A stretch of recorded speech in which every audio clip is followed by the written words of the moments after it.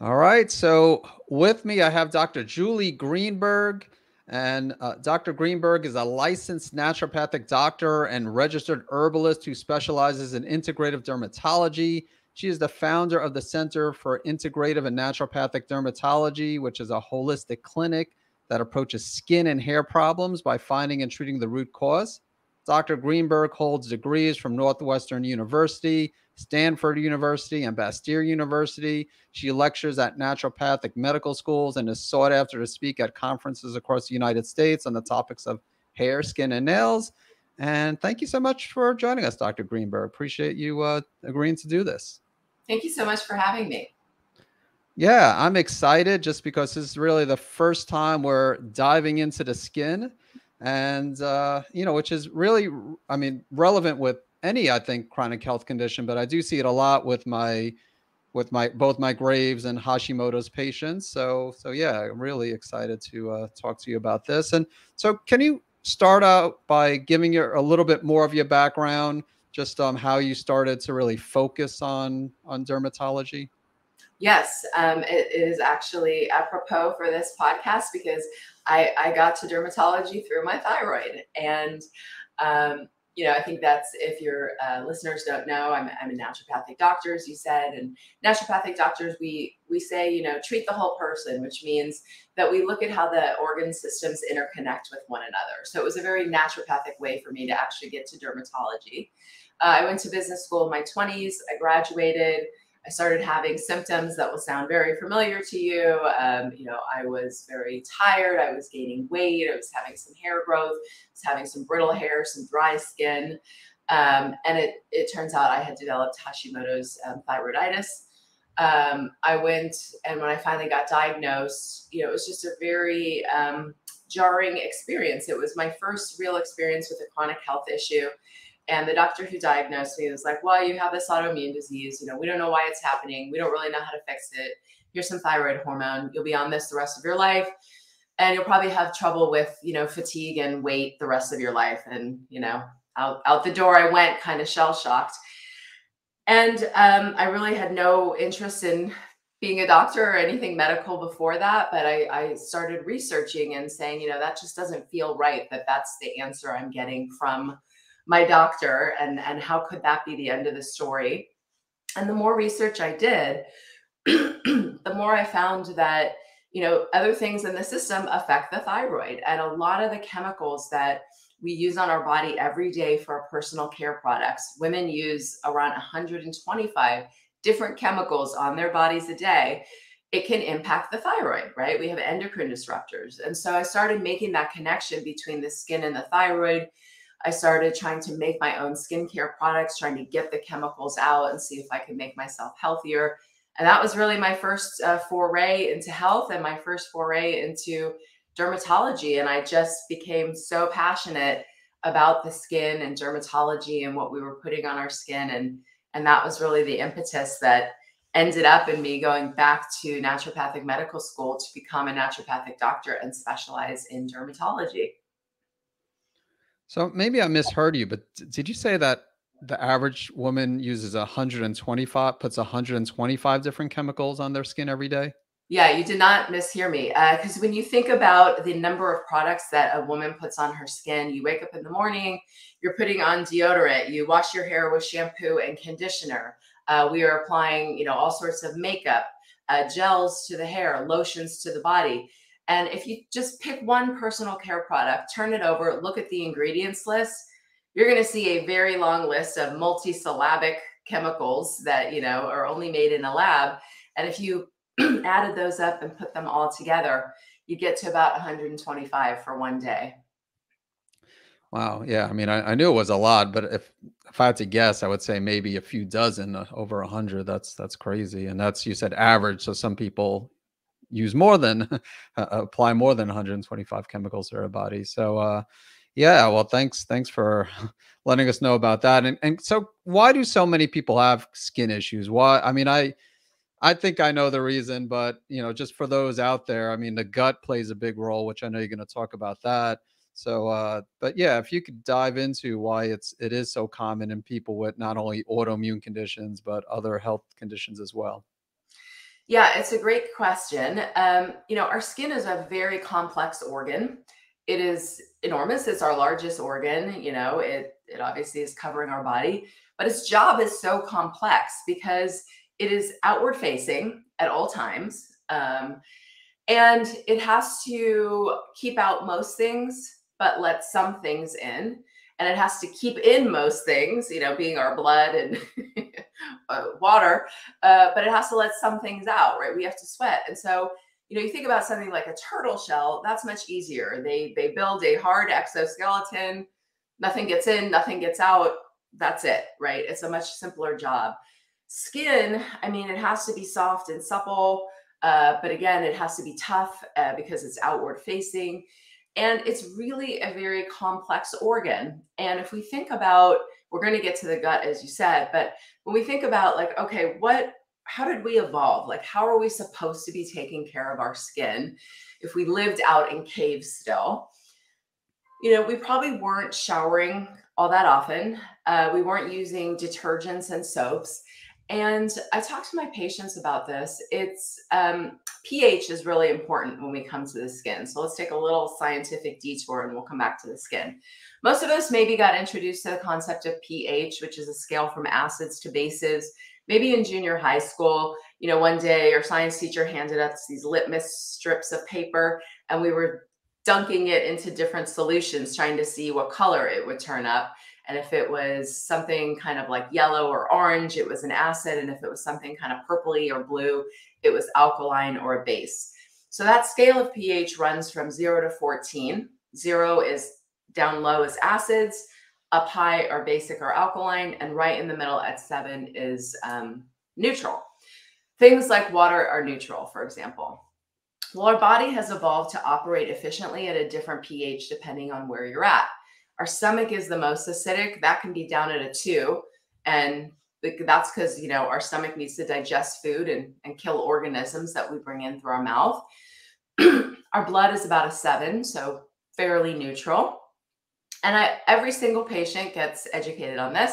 And I always ask patients, you know, if you had to guess, where do you think skin would be? Of course, you know, nobody knows because we don't get user manuals. And so I say, if you need a clue, I'll give you one. And if they don't take a clue, everyone guesses neutral. If they do take a clue, I say covering your skin is something called a fatty acid mantle. And then I say, let's break down. What word did we just hear? Fatty acid mantle. Okay, we heard the word acid. And that's the clue. That's the answer. Our skin is surprisingly acidic.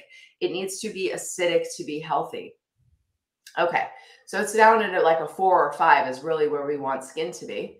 Now let's pause and look at our Western hygiene protocol. You know, we're obsessed with cleanliness, and for a lot of reasons, that is good. But we tend to use soap and water multiple times throughout a day, especially like on our hands. And most people, uh, you know, shower maybe about once a day and we're soaping up. Well, if we look at soap, soap is made with a substance called lye, and we combine that with fat, and there's a chemical reaction, and we get soap. Lye is super alkaline. It's like at a 12. So all soap or cleansers by nature are alkaline. So now we look at the fact we want skin to be acidic, and yet we are using water, which is a seven, and soaps, which are quite alkaline. Some soaps can be as high as 12 in pH. So every time we wash our skin, we're stripping off the fatty acid mantle and we're raising the pH of our skin. So we're really compromising our skin.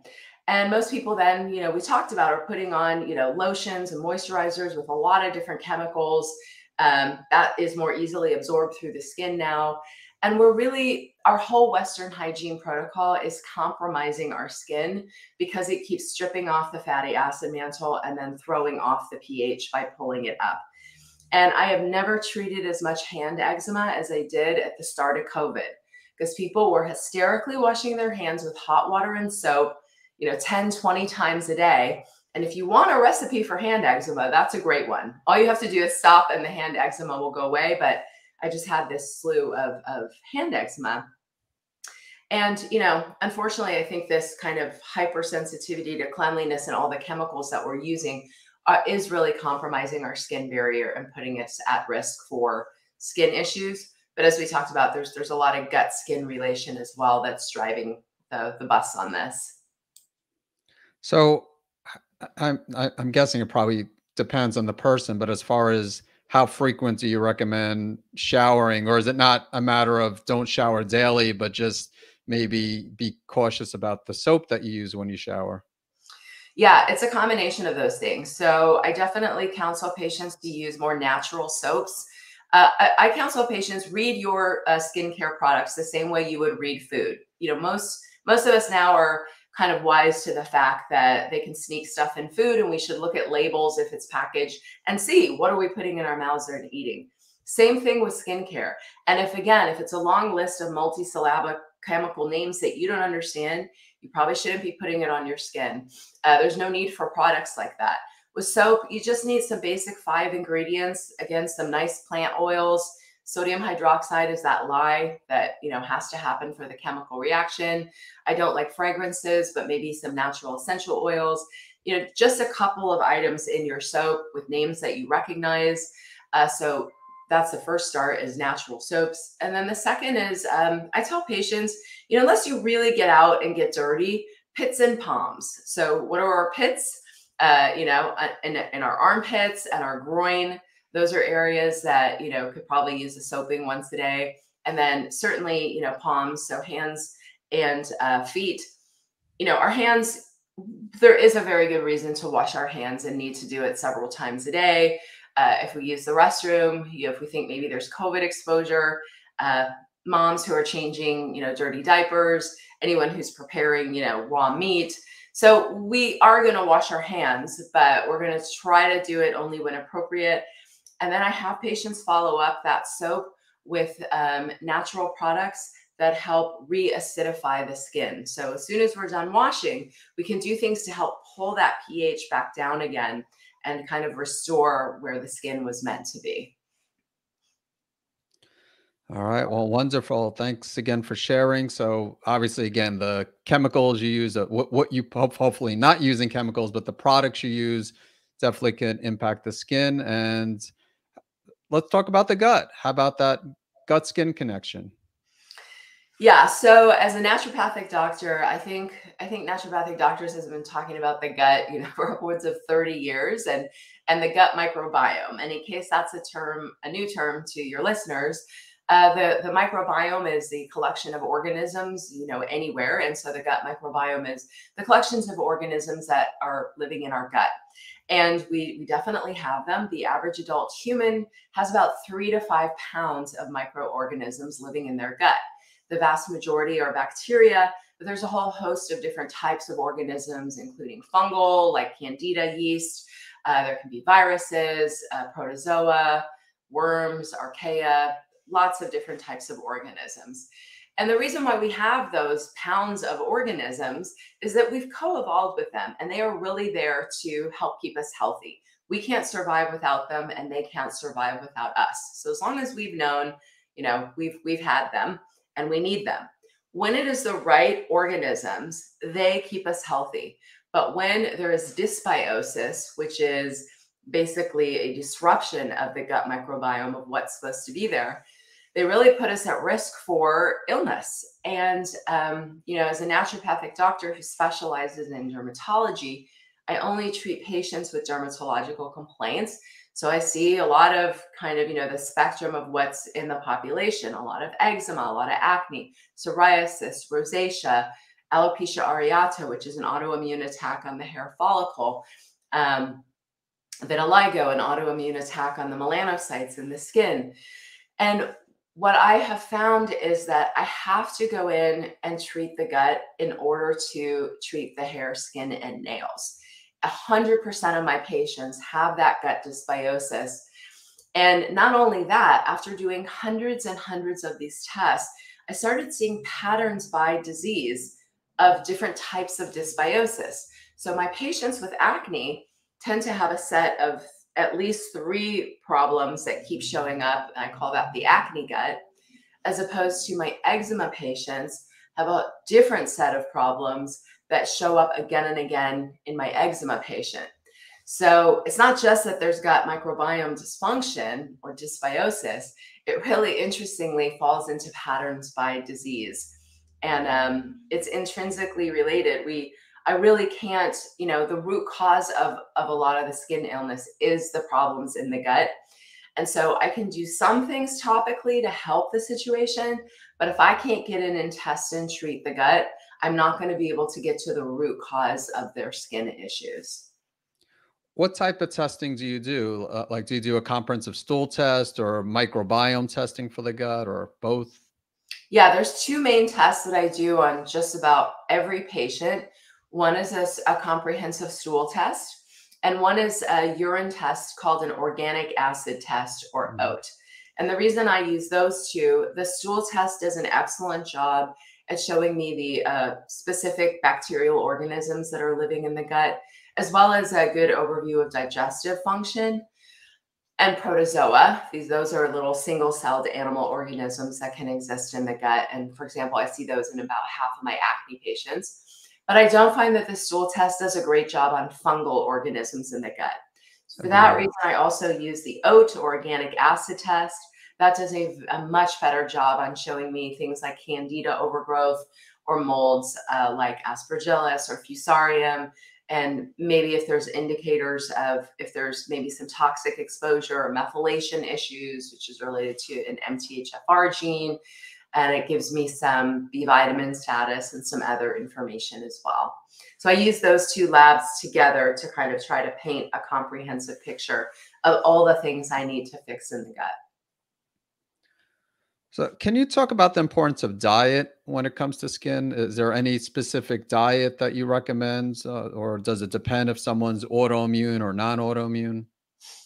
Yeah, so I think that there's some overarching principles to follow, and then there can be some specific ones by various diseases. Um, you know, overarching uh, for all my adult patients, we're working up to 35 grams of fiber a day. I can go in and fix the dysbiosis that I see, and I use herbs and supplements to correct it. I don't use pharmaceuticals 99% of the time.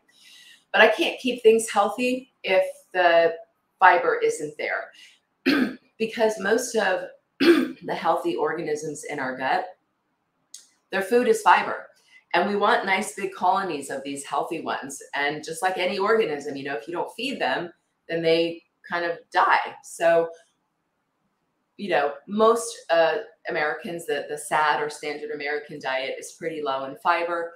Most people are not at 35 grams of fiber a day. So we really work on that because ultimately I want to get them off my schedule and I want to keep their gut healthy. And the fiber is really that path forward for them. Do, for do you mainly, uh, I'm sorry, I was going to ask, do you mainly accomplish that through vegetables as far as the, the fiber? Yeah, it depends. If we're working with teens or kids and fruit is the only kind of plant that they're really willing to eat, I, I kind of call that my gateway fiber drug, right? We'll start with with anything we can get. But for adults who maybe have a little more self-control, really vegetables, you know, are the key. I know there's a lot of debate over legumes for various reasons. I like beans and legumes. They're very high in fiber. Um, all of the blue zone populations in the world, which means um, populations who uh, who have centenarians or people who live to the age of 100 more than other populations, they all tend to have beans and legumes in their diet. So I, I do think that they are beneficial. Uh, but we really work on a variety as well. Um, variety is not just the spice of life, it, it is crafting a healthy gut microbiome. So the two uh, targets are 35 grams a day and 30 different plants a week. That includes spices, herbs, teas, nuts, seeds. We just don't want people eating the same thing day in and day out. Uh, so those are the two kind of elements I work on. And yes, definitely low sugar, which is the vegetables that brings me to you know the next point. For skin sugar ages you. It ages skin. There's something called glycation. And if anyone's ever had a hemoglobin a1c test then you have been testing glycation. A hemoglobin a1c tests basically how much sugar is attaching to your red blood cells.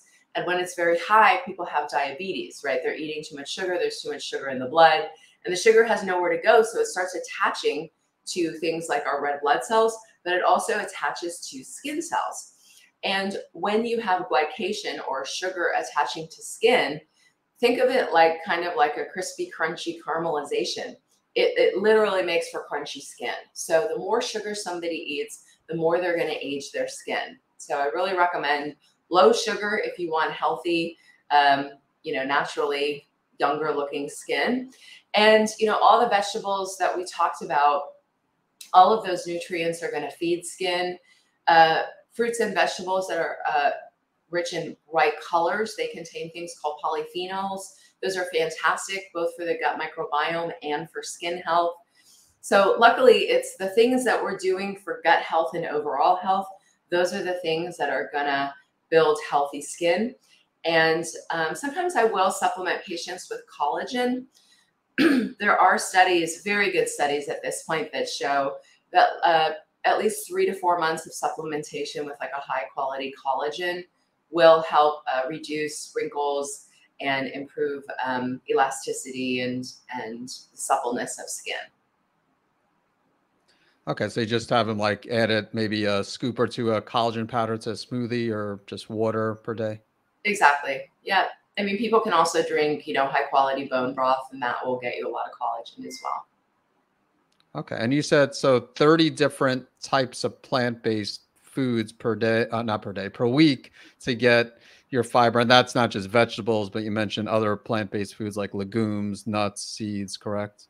Yes. And herbs and spices. The more people cook with herbs and spices, they're just so rich in um, really things uh, like, you know, if you look at the ORAC scale, which is like an antioxidant scale, something like cloves is one of the highest. So cooking with herbs and spices, it makes our food taste great and it's really good for us. And it's really easy to get to 30 different plants a week when you're cooking with herbs and spices. And then when it comes to vegetables, do you recommend specific vegetables like, you know, uh, maybe more cruciferous vegetables compared to like green leafy vegetables? uh, really it comes down to diversity like all mm. of them right? Like people want to say like oh, okay well, i eat a lot of kale. I mean that is fantastic. Kale gives you you know a lot of nutrients but again we don't want to just eat kale.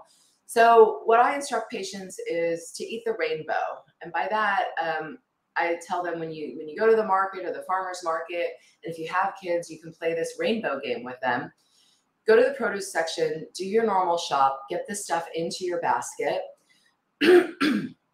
and then go through the colors of the rainbow, right? Red, orange, yellow, green, blue, violet. You look in your basket and you see which of those colors are missing. And then you're going to go back out and you or your kid is going to pick a vegetable, hopefully, from that color group and get it in the basket. So, and, and worlds of color will start to open up. So let's say, okay, there's no purple. Look around and, and then this world of purple will bloom before your eyes. And you're going to see, okay, there's purple onions, there's purple carrots, purple broccoli, purple sweet potatoes, purple regular potatoes. I mean, really, it's just like this this world just blooms before your eyes, and you can try different things, and that way you're going to build in the diversity. So it's really about having different things in the diet and all the different groups. So, right, we definitely want cruciferous vegetables, we want green leafy vegetables. Uh, we want, you know, orange things like carrots or squash. We, we want diversity. Yeah, I agree. I, I don't know if you heard of Dr. Jason Hawrelak, um, but uh, he's a, also a naturopath, and uh, he he talks about what I, when I went through my master's in nutrition, he was talking about eating 40 different types of. I think he was just focusing on vegetables, honestly, not just plant-based foods. So like 30, 30 different types, including nuts, seeds, legumes, to me is attainable, but 40, if it's just vegetables, is very difficult to get 40 different types per week. Um, so uh, yeah, so I, I mean, I, I do what you say. I try to, you know, I eat green leafy vegetables, but then also cruciferous vegetables, and try to, uh, you know, probably probably could do just like most people probably could do an even better job than I'm doing now. So I'm glad you share that. And how about probiotics? When it comes to probiotics supporting the gut microbiome, do you recommend for people to get it more through the food they eat, like through fermented foods or probiotic supplements, or again a combination of both? Yeah, and I think you mentioned Jason Hawrelak, or I, I know I'm mispronouncing that, but he he's a probiotic guy. Um, you know, I, I think when it comes to probiotics, people can kind of overestimate, right? I have a lot of eczema patients or eczema infants whose, you know, moms come to see me and they're like, I have them on a probiotic, but it's not working. Like thinking that somehow the probiotic is going to be magical and fix everything. And that's not the way it's going to work. I definitely think eating fermented foods and getting probiotics naturally in our diet, you know, it's always the best to get it from our diet. Um, but I do think there's a role for probiotics in helping, and I do prescribe a lot of probiotics. There's kind of different types of probiotics, and I use different ones in different people. But you know, definitely, I'm always recommending again those fermented foods, so things like sauerkraut or natto, um, even you know small amounts of kombucha, so we're not getting too much sugar. For probiotics, uh, for little ones, for kids and breastfeeding moms and infants, um, you know, the most common strains are the ones you'll get in the refrigerator section. So they're strains of lactobacillus and bifidobacteria bacteria. And those I find work best in kids. Again, that's not usually going to magically clean up the eczema, but part of a comprehensive protocol, it can be helpful. For adults, I like bacillus strains. Those are known as spore or soil based probiotics. Those are a little bit different. I don't use those in kids and breastfeeding moms because I found that that those species don't work well in the guts of little ones. Um, and then there's kind of more specialty strains. So there's a bacteria called Akkermansia muciniphila, um, which is kind of a, a, keystone species. In its name, muciniphila tells us that it's a mucinophile. It loves mucin, and it helps prevent leaky gut and there is a company that makes uh. Sometimes I prescribe that as well. So I use a variety of probiotics, but it's never just going to be the only thing I recommend. It's part of a comprehensive plan where I'm treating the issues that I saw in the stool and oat tests using a lot of herbs and supplements to kill off unwanted organisms. And then, of course, trying to regrow and rebalance the gut um, kind of more towards the, the back end. So with the Akkermansia, I, I assume you, if you recommend it's based on it being low on a comprehensive stool test? Exactly. Um, if it's either low or missing, a lot of patients show up with uh, below detectable limits, which basically means it wasn't found. We don't think that it's that there's not, you know, a single, you know, spore or, you know, a something of Akkermansia, but it's just so low, it's not coming out on the stool test. And Akkermansia is kind of a delicate bacteria. So it can get to that point where it's low or not found with antibiotic use. You know, there's collateral damage in the gut. Uh, antibiotics can be life saving and amazing and wonderful. Um, but at the same time, you know, they can kill off um, beneficial organisms like Akkermansia. And a lot of patients who aren't eating enough fiber, you know, or if they're doing for a long time a low FODMAP diet or like a keto paleo diet and there's really no fiber, um, that also can can lead to low or no akkermansia. Now, when it comes to you mentioned dysbiosis imbalance in the gut flora, so that doesn't just pertain to like low back good bacteria. Um, you mentioned candida overgrowth, which you use the organic acids test. How about gut infections like H. pylori or parasites? Do you see those leading to skin issues in your patients? Yes, 100%. H. pylori um, and just so your listeners know, that is a bacteria that lives in the stomach. Um, H. pylori, I find in almost 100% of my acne patients. So I mentioned there's an acne gut. The acne gut is almost all of them have H. pylori, and it doesn't even need to be massive amounts. It can just be low levels that are present.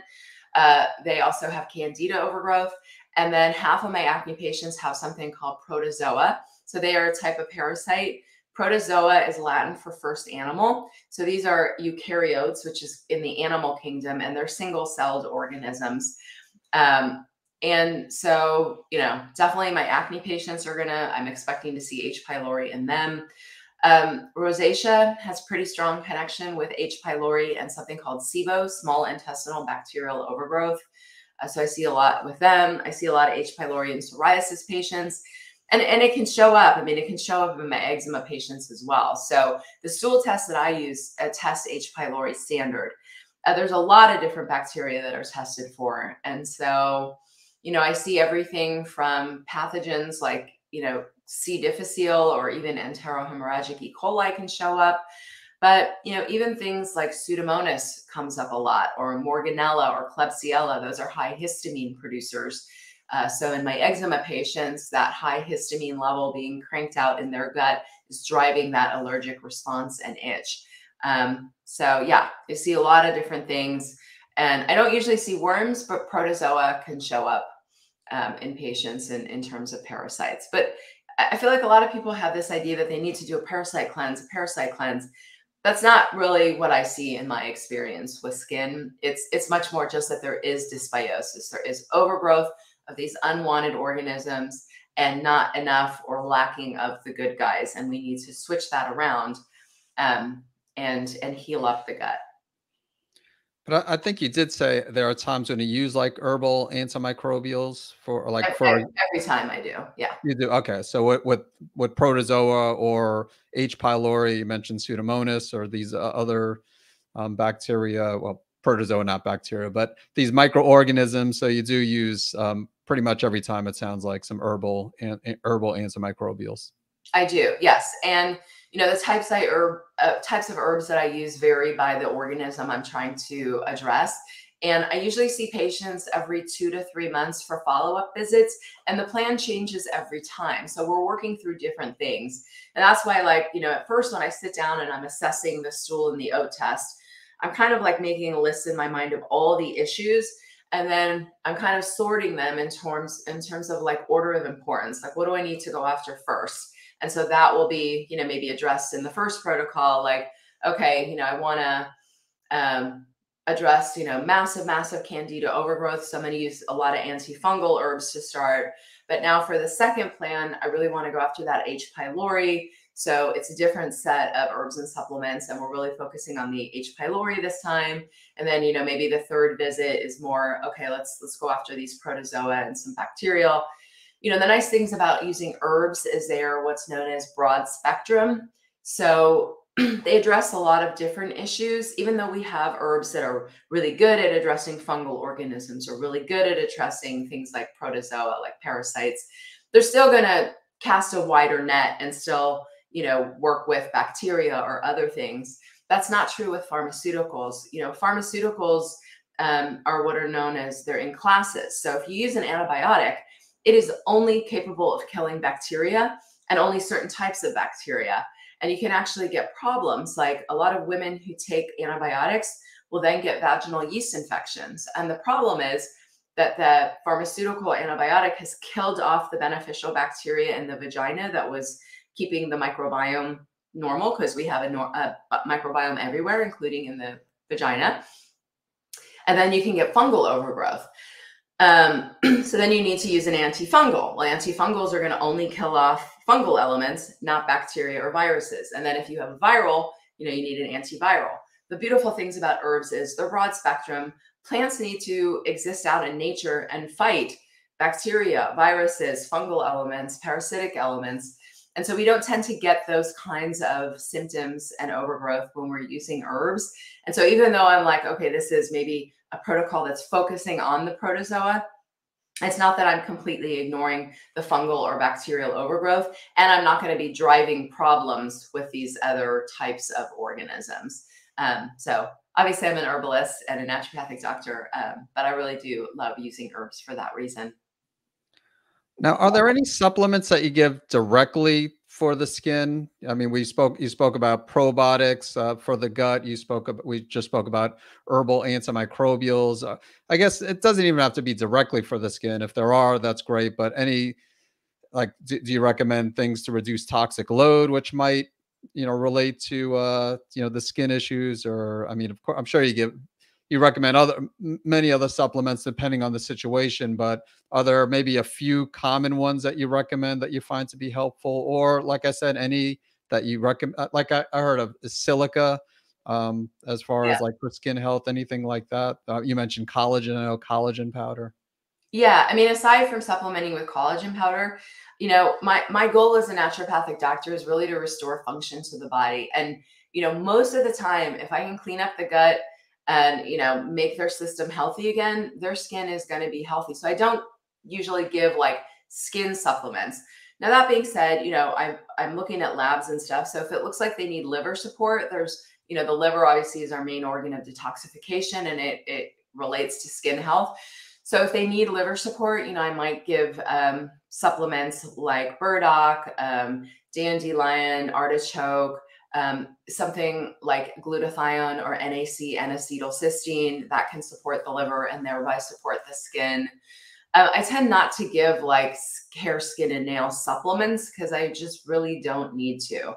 You know, if people are getting proper nutrition, if all their organs are functioning properly, and if we're doing things topically on the skin, like we talked about, like not really messing with the pH and restoring the pH with things like aloe vera gel or hydrosols or uh, water-based plant extractions. It's part of the essential oil making process. It's kind of like a tea. Teas on the skin, uh, diluted apple cider vinegar, and then using plant-based moisturizers to moisturize the skin. That is really all you need, you know. And also, you know, we talked about not eating a lot of sugar, not eating a lot of junk, the healthy diet. Your skin is gonna look um, and feel great naturally as long as we're supporting all the systems. We really don't need to throw a lot of like vitamins and, and stuff like that at it. Yeah, I'm glad you said that just because there are times when, you know, my patients will ask me, well, can I have a sub, uh, not so much for the skin, I guess sometimes, but especially for the hair, can I have like a, you know, hair supplements? And we, I, I, I say the same thing. I mean, you know, trying to address what's causing the hair loss. Is it a thyroid hormone imbalance uh, or is it a nutrient deficiency, which might be tied to the gut? So, uh, so I am glad you you mentioned that. And then I, I guess the last question I have is when it comes to skincare products. Um, I, I think you you said you do have your own line.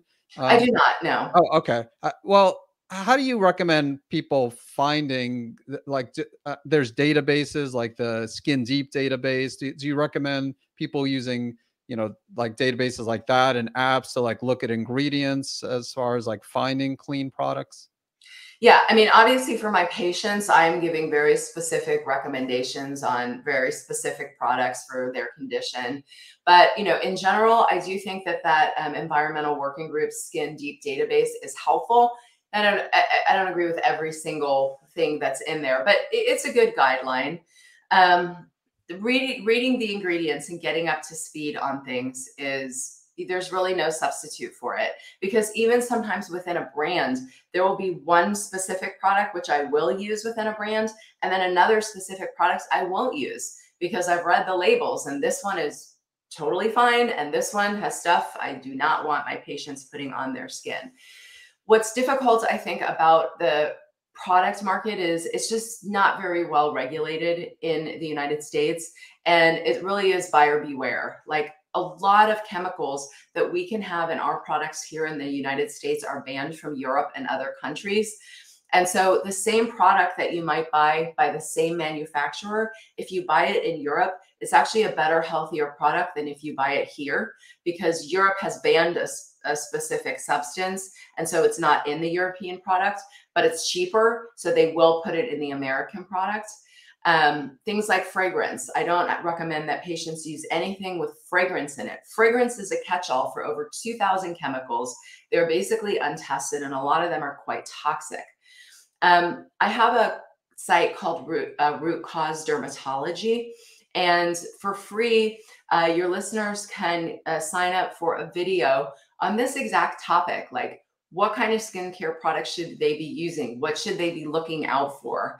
Um, and if they go to Root Cause Dermatology and just put their email address in, they'll get a free video. It's about 15 minutes about me talking about this exact topic and, and how to really look out for themselves and, and get healthy skincare products. But education, reading the labels, and um, you know, I would say only buy products that you know what those ingredients are.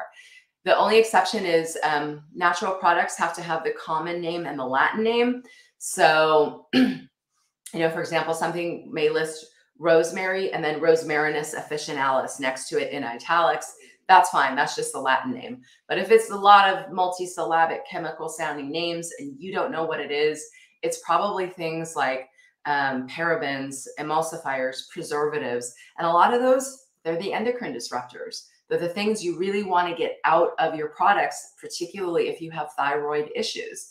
Um, and if you know what all the ingredients are, and you see things like, oh, okay, that has you know lavender essential oil and aloe vera gel and shea butter and you know coconut oil you know what those things are your body knows what those things are those are not going to contain endocrine disruptors those are not going to mess with your thyroid All right. Well, thank you. Thank you for sharing that. And yeah, definitely visit Dr. Greenberg's website. Root, you said root cause dermatology, uh, root, rootcausedermatology.com for that free video. And uh, is there anything else that I didn't ask you that you wanted to, to chat about? I know we covered a lot, but I wanted to make sure that there wasn't anything that you specifically wanted to, to cover. Yeah, I realized when I was talking about the food that, you know, I didn't really talk about gluten. Um, the stool test that I use does have a gluten sensitivity test. This is different than testing for celiac disease or a food allergy. A sensitivity is, you know, that you have issues with it. And um, I bring it up because, you know, a lot of, of thyroid patients and Hashimoto patients have issues with gluten. Um, if that marker comes up in my patients, I do have them eliminate gluten. Gluten can trigger something called zonulin. Zonulin contributes to a leaky gut. Um, so gluten is an issue for some of my patients, and especially if they have thyroid disease, because a lot of my patients, you know, uh, you know, thyroid is is obviously the number one autoimmune disease, and so a lot of my patients have skin issues plus uh, thyroid and autoimmune diseases go together. So especially if they have something like an alopecia areata or a vitiligo, you know they're, they're more likely to have something like an autoimmune thyroid disease. Um, you know i think we eat too much gluten in our diet. I don't think everyone needs to completely eliminate it but i do think it's helpful to know if you do have a gluten sensitivity and if so to really cut it out completely. There's so many other um, grains and options um, and you know it just oh, some people are just eating gluten morning noon and night and it's really not great for their gut, their thyroid, or their skin at the end of the day. How about dairy? Do you uh, does that depend on the person, or usually you, you let people eat dairy? Or uh, it depends. About 100% of my eczema patients should not be eating dairy. I've never met an eczema patient where dairy does them any favors. Um, you know, unfortunately, you know, we are not baby cows, and so that is not an appropriate food source you know, I kind of tongue in cheek ask my patient, you know, my adult eczema patients, like, oh, you know, so you're still breastfeeding from your mom? And of course, they look at me like I'm completely insane. And the reason is, you know, if we were meant to drink dairy as adults, we would still be breastfeeding. But no mammal on the planet breastfeeds past infancy. Every mammal mama cuts off the baby at a certain point, and that mammal will never ever have milk again and will never drink the milk from another species. We like milk because it's it's delicious and it makes things like cream and cheese and it, it releases endorphins. So there's even an addictive nature. But none of my eczema patients and none of my acne patients should be drinking milk. Um, some people can get away with it, but it's it's really not an appropriate food source. We, we weren't meant to drink um, dairy as adults, and we weren't meant to drink dairy of other species. So dairy and, and gluten are are not my favorite. Again, some people can get away with it, but they're not great food sources. Yeah, I definitely agree with that. And so, can you just take a minute uh, to wrap this up and just maybe some action steps if someone, you know, with Hashimoto's or Graves' disease listening to this, or you know, another, you know, health condition, a non-autoimmune thyroid condition listening to this, uh, you know, obviously working with a practitioner such as yourself is an option but what are some initial steps even before that that they should do? Yeah, I think we break it up into topically and then internally. So, topically, again, the best thing you can do, turn those personal care products over. Start reading labels. Ask yourself if you understand what's in it. And if you don't, think twice about whether you should be using it. There's lots of good options, and you can start, you know, with my course uh, or, you know, the Environmental Working Group Skin Deep uh, database to start to educate yourself. So that's for topicals. For internals, really, if you can get 35 grams of fiber a day and 30 different plants a week, a lot is going to change. Uh, your thyroid symptoms are going to improve. Uh, your gut is going to improve. Your skin is going to improve. It is the may, the way we were meant to eat, and there's there's nothing we can do to get around that. Um, so I think those two things, you know, topically read your labels, focus on 35 grams and 30 different plants a week, you would see big changes in your skin health and your thyroid health just with focusing on those two things. All right. Well, thank you. Thank you, Dr. Greenberg. And where can people find out more about you? You said your your website, rootcausedermatology.com. I know you have some courses. Um, besides the free video, there are other um, courses that you offer as well, correct? Yeah, so on, on root cause dermatology, I have a course on eczema, acne, rosacea, hair loss, and something called seborrheic dermatitis and dandruff. Um, if you live in California, Oregon, or Washington, those are states where I'm licensed and where I can legally see patients.